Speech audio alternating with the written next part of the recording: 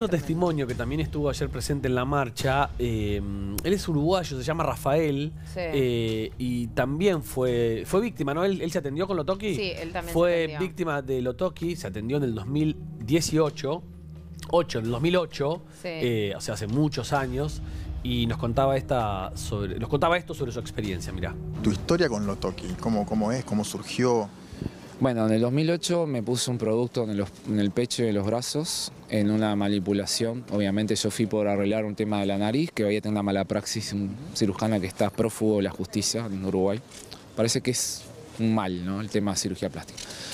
Y me rellenó un producto que no sé qué era, me dijo que era algo que, se, que, que me iba a ayudar y que no necesitaba abrirme ni tener nada, que iba bárbaro.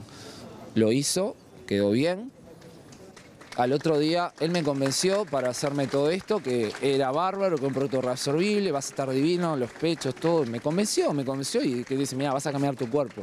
Y después de eso fue una tortura mi vida.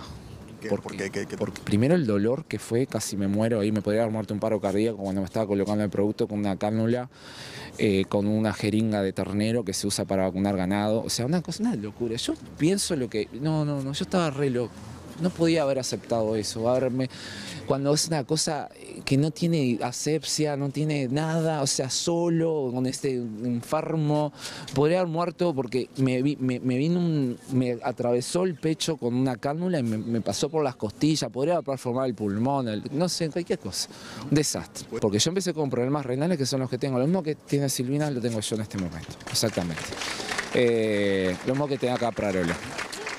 Y me hizo una lipoaspiración que me dejó una, una infección durante cuatro meses tomando antibióticos porque me, se me infectó todo lo que me hizo, que yo no se lo pedí. Me dijo, no, te lo hice porque como no te pude sacar esto, porque no sé, tranquilo, mira que eso no te va a joder, te tomás calmante y vas a seguir. Y ahí empecé con los problemas renales que hasta el día de hoy va, y bueno, va a ser una enfermedad crónica hasta que Dios diga hasta cuándo voy a estar en la tierra. Vos eh, sos de Uruguay y viniste especialmente para la marcha hoy. o- Sí, sí, vine especialmente para la marcha, sí. Sí, porque me sentí mal, eh, porque Silvina me había pedido que hiciera una declaración que yo le dije que ¿Hablaste no. con Silvina vos? Sí, sí, fue el último que hablé antes de que la internaran, o sea, al menos de, de los que Sí, estamos en esta situación, no de familia. Tiene que estar preso. Eso es lo que yo quiero. Bueno, un testimonio más, eh, más o menos relatan todas las víctimas, parecen testimonios calcados porque con todos eh, actuó de la misma manera. Sí. Eh, le pidieron una cosa, termina operando y agregándole más cosas, eh, su cuerpo empieza a responder de la misma manera que Silvina. Ponemos como ejemplo el caso de Silvina porque fue una de las primeras que salió. La primera fue Trenchy en realidad, pero Silvina fue una de las primeras que, que empezó a hablar y, y resonó muy fuerte por eh, quién era Silvina Ahora en ese todo- momento. Qué valentía, ¿no? Qué valentía la de Silvina en esa época, hace tantos años atrás, de animarse a decir, yo me hice esto, me hice esto. Cuánta gente que estamos viendo, que vos contás, Tefi, que por ahí no se anima a contarlo, digo. No, Eh, igual todos cuentan lo mismo, ¿eh? sí, por eso Eh, digo, parecen testimonios modus calcados. operandi, cómo la justicia tardó tanto ina- en inhabilitarlo a este tipo. Bueno, ah, eh, pero, Steffi, lo inhabilitaron hace dos meses. Se tuvo que morir Gracias una a persona. Pamela. A mí lo que me preocupa es lo, la Pamela junta Sosa. médica esa, que no, que cómo no, no, eh, digo, eh, eh, ¿qué hizo como para que el tipo no esté? eh, esa Preso. junta médica, eso es lo que me pregunto. ¿Cómo eh, no, no se pusieron a averiguar? Creo que ellas no sé por qué no se quisieron biopsiar en, en su momento. Eh, Pame- eh, Pamela, Silvina Luna, al menos eso es lo que cuenta Majo.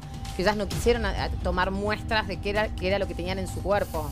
La- pero me parece que sí, eh, que está No. comprobado en la causa o no. Majo, la verdad busquen que, porque Majo siempre contaba que ellas ¿Qué no- Majo? La mujer Mar- de Lotoki. Ah. Contaba Ah, que ellas bueno. nunca habían querido permitir que les tomen muestras de sus Pero no, cuerpos. no creo mucho en las palabras Yo de ellos. Bueno, pero habría que ver en la No sé, causa. me parece, yo tenía entendido de que sí.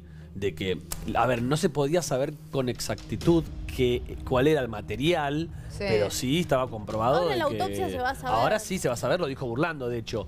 Pero vamos a ver eh, una nota eh, que esta la hicieron, eh, la hizo Juan en el velatorio de Silvina por la mañana, que es la mamá del polaco Mm. que se presentó a despedirla a Silvina y le hicimos una